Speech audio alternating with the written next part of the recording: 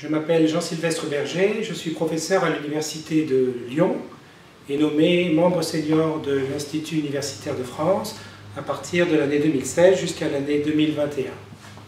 Le projet que j'ai présenté porte sur la circulation totale au-delà du contrôle, en anglais Full Movement Beyond Control, et je m'intéresse à ce phénomène par une approche par le droit. Mon objectif est d'essayer de nommer un phénomène d'échappement où l'ensemble des acteurs n'arrivent plus à contrôler des flux de circulation de personnes ou de marchandises. Mon hypothèse de travail est que cet échappement peut, dans des circonstances bien particulières, faire l'objet d'un traitement public et donc notamment d'un traitement par le droit. Ce projet a été construit au terme de différentes missions qui ont été menées en Europe, au Brésil et au Canada. Je me suis intéressé à notre continent, qui est fait de territoires morcelés, et également à des grands pays continents, à l'intérieur desquels des grands flux de circulation ont lieu et qui font l'objet d'un traitement historique, à la fois dans un pays émergent comme le Brésil et dans un pays développé comme le Canada. La démarche que j'envisage de mener est une démarche en trois temps. La première va consister pour le juriste à sortir de sa spécialité juridique pour aller à la rencontre d'autres disciplines de manière à avoir une connaissance la moins imparfaite possible des phénomènes complexes de circulation. Ces autres disciplines touchent aussi bien aux sciences dures qu'aux sciences sociales. L'objectif n'est pas de mener une recherche proprement interdisciplinaire ou transdisciplinaire, mais plutôt de croiser les regards de différentes disciplines, une approche donc pluridisciplinaire, de manière à ce que chaque discipline s'enrichisse de son regard propre.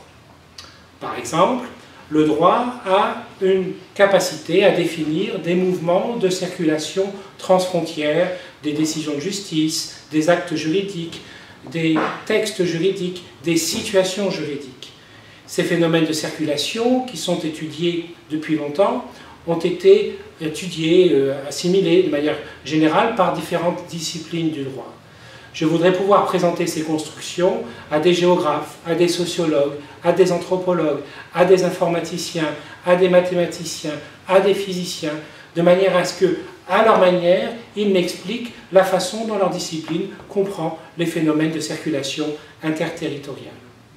Au terme de cette première phase de la recherche, je peux espérer que le juriste ait une connaissance moins imparfaite du phénomène et soit plus à même de le traiter en droit. Traiter un phénomène en droit revient à se poser la question de savoir s'il faut l'intégrer à une catégorie d'existence ou créer une catégorie qui lui serait propre. On passe par un phénomène ou un processus de pensée qu'on appelle la qualification, qui consiste à faire rentrer un fait brut dans une construction du droit.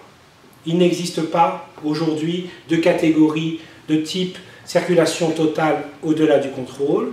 Il n'est pas certain qu'il faille en créer une. En tout cas, ce qu'il y a de sûr, c'est qu'il faut mettre en chantier cette perspective de manière à s'interroger sur le mode de réception le plus adapté qui puisse exister en droit.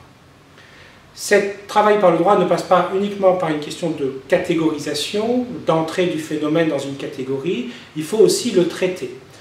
Là, on peut envisager que le phénomène de circulation totale au-delà du contrôle soit un phénomène rare, exceptionnel, qui appelle une gestion de type gestion de risque ou gestion de crise.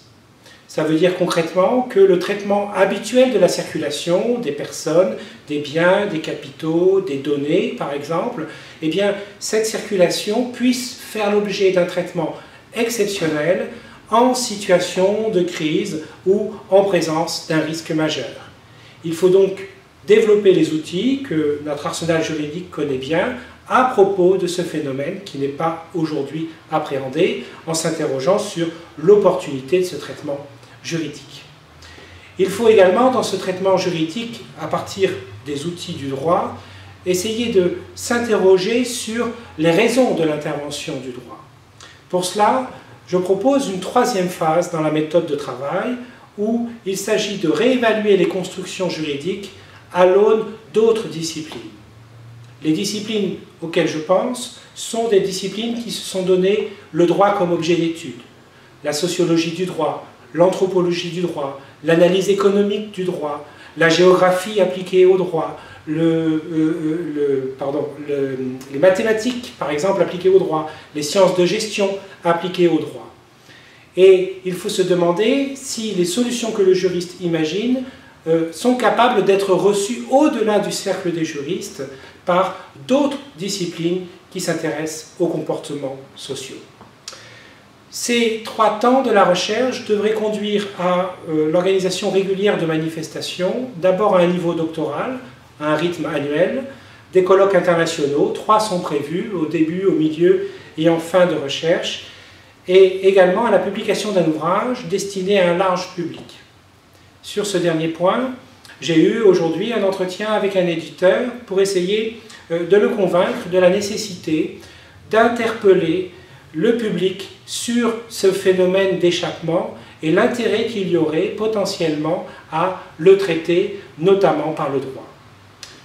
J'espère pouvoir mettre en place ce travail de euh, questionnement dans le débat public le plus rapidement possible, de manière à déclencher une réflexion plus globale, interdisciplinaire, sur mon objet d'étude. En dehors de ces différents livrables, l'objectif du projet est également de préparer un projet européen.